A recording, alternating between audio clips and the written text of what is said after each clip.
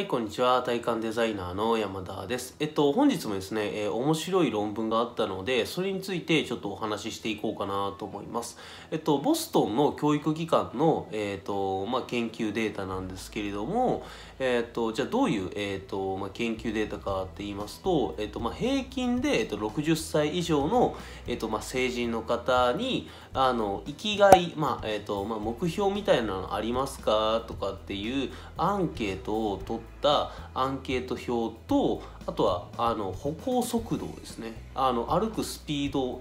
あのどう関係するかっていうことについてちょっとあの調べたデータがあるんですね。はい、で、えっと、じゃあどういう、えっとまあ、内容かと言いますと、えっとまあ、大体7ヶ月間歩行スピードえーとまあ、2.5メートルぐらいを実際こう歩いてもらってでその時のスピードと,、えーとまあえー、アンケートを取ったんですね。えっ、ー、と、今、あの、生きがいありますか、まあ、もしくは、あの、目標ありますか？えっ、ー、と、まあ、怪我をしてたら、えっ、と、それをこう、直したいですか？とか、あの、まあ、えー、怪我を治して職場復帰したいですか社会的な復帰したいですかっていうようなあの、まあ、アンケートを取ってじゃああの実際にそうやってこうしっかりとした目標がある方の、えー、歩行スピードと,、えーと、実際何もなかったと生きがいがないっていう人の歩行スピードっていうのを、えーと、実際調べたんですね。はいえーと、そうすると,、えーとまあ、どうなったかって言いますと、まあ、生きがいを、まあ、7ヶ月間の間ですけれども7ヶ月間の間で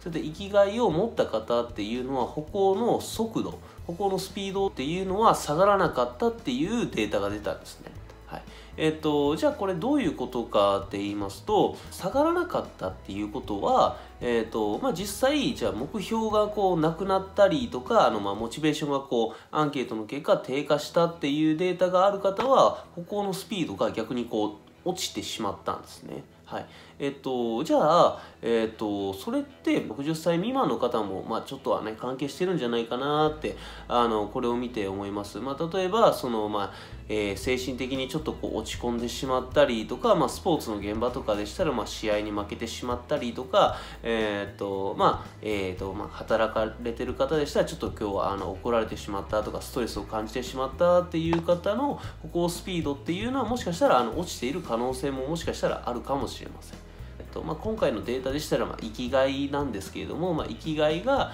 えーとまあ、その歩行スピードをまあ左右するっていうことであの生きがいがある人は、えーとまあ、歩行速度は、えーとまあ、落ちない、まあ、通常通り逆に、えーと、生きがいがないとかあのモチベーションとか目標がないっていう方の歩行スピードはどんどんどんどんこう落ちてしまっているっていうふうに、えーとまあ、捉えられるんではないのかなと思います。はい、なので、えーとまあ、実際こう、まあ、明日とかですね、まあ、今日でもいいんですけれども実際こう何も考えず歩いてみて実際じゃあ自分の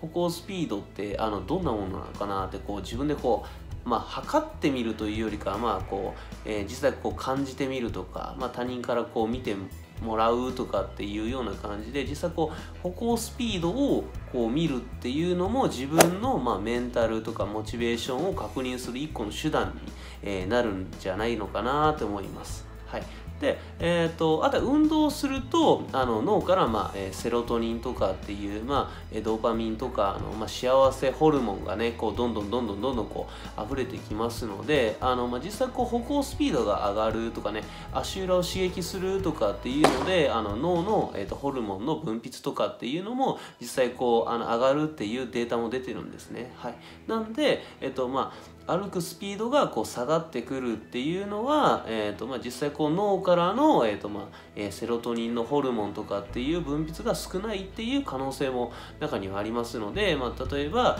モチベーションが下がってしまってるっていう方は歩行スピードを上げるっていうのであのちょっとこうモチベーションをこうアップさせる一つのまあ手段になるんじゃないかなと思います。はい、えーとまあ、平均60歳以上の方の、えーとまあ、論文なんですけれどもこれは本当に、えーとまあえ、若い方とかねあのあとはまだまだこう現役で働いてる方の、えーとまあ、一つのこう指標になるのかなと思いますのでねあのぜひあの歩行スピードちょっとねあの明日から意識していっていただければいいんじゃないかなと思います。えっ、と本日は以上になります。ご清聴ありがとうございました。